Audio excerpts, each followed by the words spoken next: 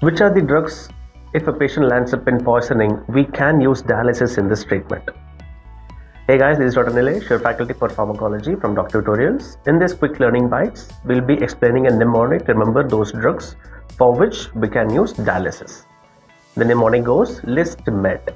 L stands for lithium, isoniazid, salicylates, theophylline and caffeine, methanol, ethylene glycol, and divalproex which is nothing but the combination of valproic acid and valproate sodium in a ratio of 1 is to 1.